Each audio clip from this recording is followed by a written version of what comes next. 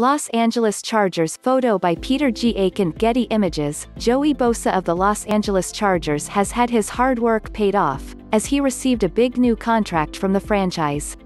NFL players have been making bank during this offseason.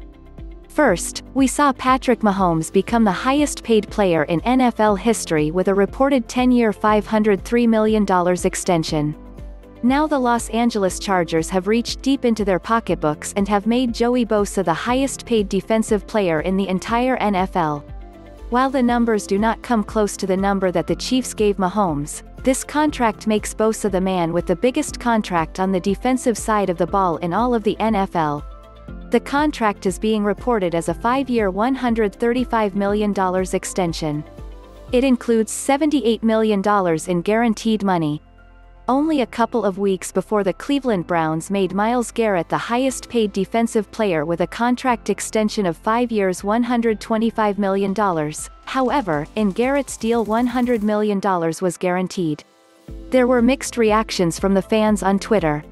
They were upset that the Chargers gave this enormous deal to Bosa before giving star receiver Keenan Allen a contract extension.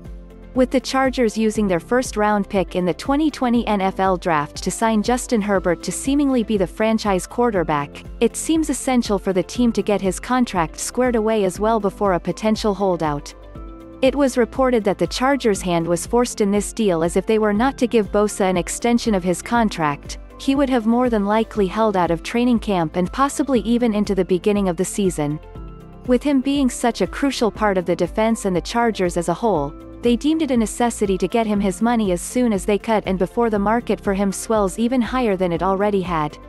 Just 24 hours before news of the contract broke, Chargers general manager Tom Telesco was asked about Bosa's contract in which he declined to comment on it and said that he hopes Bosa will join the team and report at the start of training camp.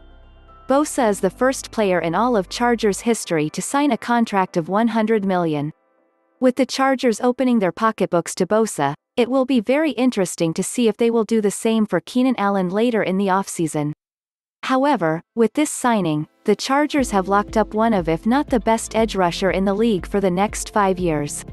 Bosa was drafted to the Chargers with the third overall pick of the 2016 NFL Draft and since he has stepped on the field he has made an immediate impact.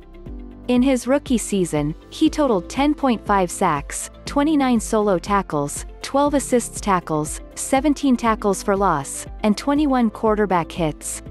In this season, he was also named the Defensive Rookie of the Year.